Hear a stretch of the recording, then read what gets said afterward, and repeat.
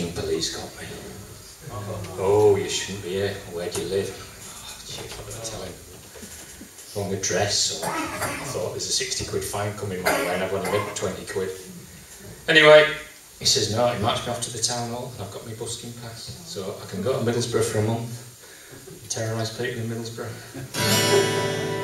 I'm not going to plug this in, I'm just going to do acousticy things and it might kind of